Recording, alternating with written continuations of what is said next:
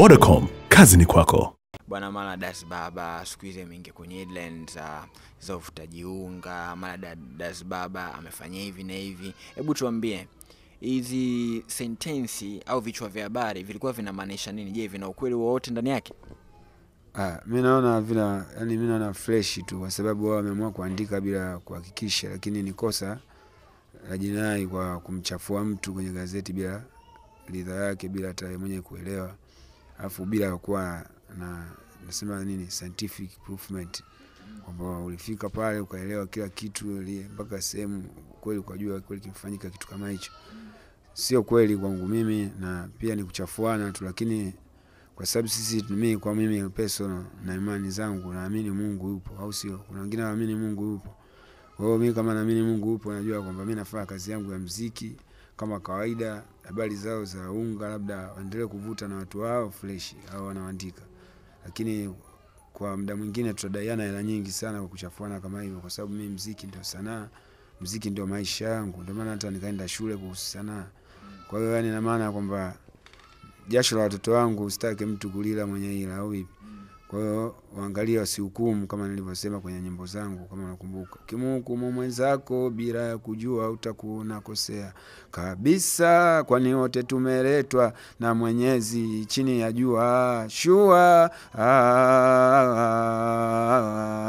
Watu wanaishi vipi? Bora ukinielewa maisha mafupi, ukisikia kwanza fuatilia, ukishajua ndipo chukue hatua. Usipende kuhisi zaidi ya kudadisi, haifai kumwita mtu amola mola ibilisi.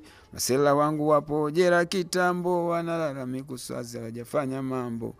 Boom, okay. fire. um, ni msanii gani wa chorus ambaye unayemkubali Ah, mimi waimbaji wote nawakubali katika chorus, na naweza kusema fresh. Unaweza kawa ni wengi ambao unakubali lakini mention mmoja tu ambaye unaimkubali katika upande wa chorus ukiwa kama das baba Mi bwana, hapo tuteta ugomvi tu, lakini mi namkubali mwanangu Juma Nature fresh. Eh, maki ndo saiba wangu, tunaweza tukaimba nini kikaeleweka. okay. um, katika maisha ambayo um, katika maisha ambayo ume, ume- umeyapitia ulishawahi kufungwa jela labda au labda kusingiziwa kitu gani hivi ni changamoto zipi labda Ah, katika maisha yangu labda makashfa kashfa kama magazeti magazeti ya siokuwa na msingi, kuandika mambo mambo ya kijinga jinga kama ambao atufanye wanaandika unafanya hivi, Waongelee negativity, wanaongelea yani wanaongelea negativity exactly, let me say that.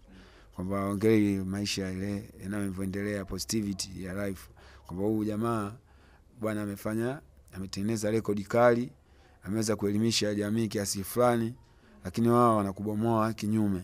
Kwa hiyo vitu kama hivyo ni matatizo katika sanaa pia, lakini kufungwa jela, mi sijawai kufungwa jela kwa sababu rasta si tunaishi free. Kwa hiyo sijawai kufungwa, labda labda kwa watu hiyo ambao rafiki zangu wapo ambao wako jela, ambao ndio maana hata nyimbo nazoandika nasikia zinatajataja jela, kwa sababu hiyo hata wanangu kina Papi Kocha wanaona namna gani wamekaa mda kibao tu, kwa miaka kibao jela lakini ndio maana nikaimba hata na Jumanecha, tunasema tunaomba Mungu zipo siku atoke, kwa sababu hatujui hata sisi labda atatukuta baadaye, kwa sababu binadamu, simcheke mwenzako kilema chake, hujafa hujaumbika, au sio?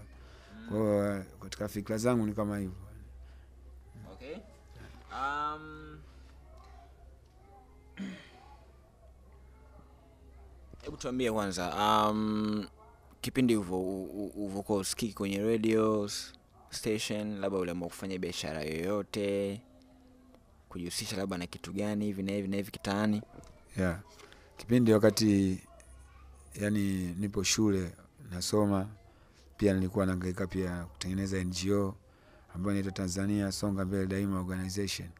Kwa hiyo ni NGO ambayo inahusika na wajasiriamali na watu wa sanaa kwa ujumla, arts na entrepreneur.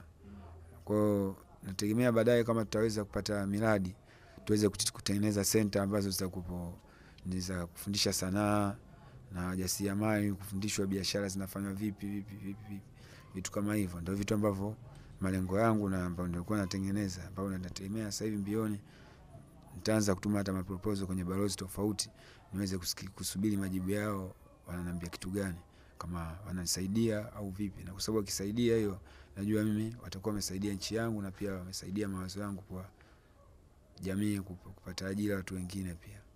Okay. Hebu tuambie idea ya, ya, ya barua, idea ya barua alitoa nani? Ah, idea ya barua ni ilikuwa kwanza, mara kwanza, yani tunaweza kusema tulikuwa tuna discuss eh, kwa mimi critic na Feruzi tuna discuss kuhusiana na mambo ya serikali serikali haya, kwamba wananchi wanaumia namna hii, afu yangu ah, viongozi bwana wanakuwa raha, inakuwa vipi? Sasa tutengenezeni barua nini, tumwandikie tumwandikie rais nini, tumchane.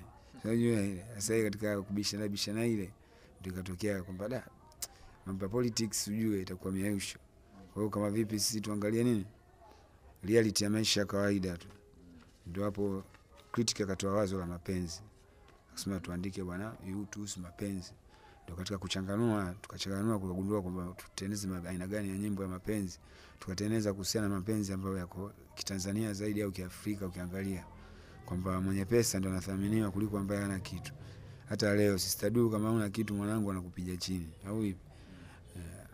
yeah. chini na mwenye mkoko nini anambeba.